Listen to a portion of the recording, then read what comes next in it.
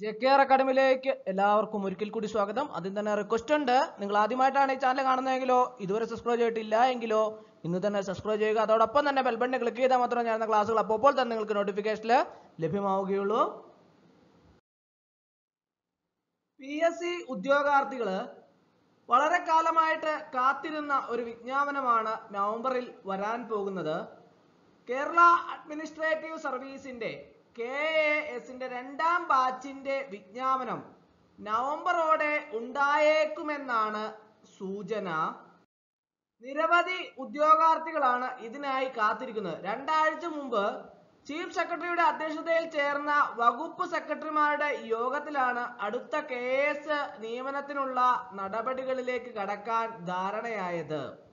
രണ്ടായിരത്തി പത്തൊമ്പത് നവംബർ ഒന്നിനായിരുന്നു ആദ്യ വിജ്ഞാപനം. രണ്ടായിരത്തി ഇരുപത്തി ഒന്നിൽ ഒക്ടോബർ ഇരുപത്തി ഒമ്പത് തസ്തികകളിലായി നൂറ്റിയഞ്ച് പേർക്ക് നിയമനം ലഭിച്ചിരുന്നു. രണ്ടു വർഷത്തിലൊരിക്കൽ വിജ്ഞാപനം പ്രസിദ്ധീകരിക്കണമെന്നാണ് കെ എസ് സ്പെഷ്യൽ റൂളിലുള്ളത്. ഇതുപ്രകാരം രണ്ടായിരത്തി ഇരുപത്തി ഒന്നിൽ രണ്ടാം വിജ്ഞാപനം ഇറങ്ങേണ്ടതായിരുന്നു. തസ്തികകൾ കണ്ടെത്താനാവാതെ വന്നതോടെ അതും പാലിക്കാൻ കഴിഞ്ഞില്ല.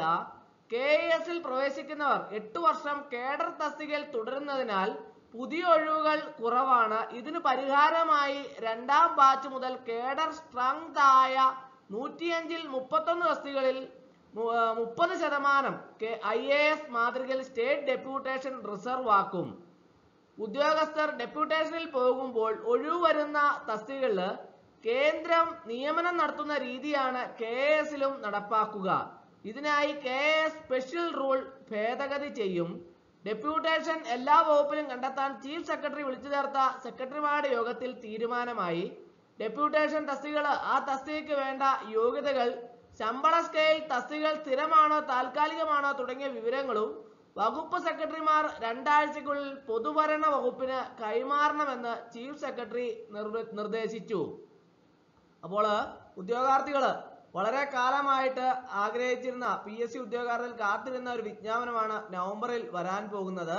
കെ എസിന്റെ കേരള അഡ്മിനിസ്ട്രേറ്റീവ് സർവീസിന്റെ രണ്ടാം ബാച്ചിന്റെ വിജ്ഞാപനം നവംബറോടെ ഉണ്ടായേക്കുമെന്നാണ് സൂചന. അപ്പോൾ ഉദ്യോഗാർത്ഥികളെ സംബന്ധിച്ചിടത്തോളം വളരെയധികം പ്രതീക്ഷയോടെ കാത്തിരിക്കുന്ന വിജ്ഞാപനമാണ്.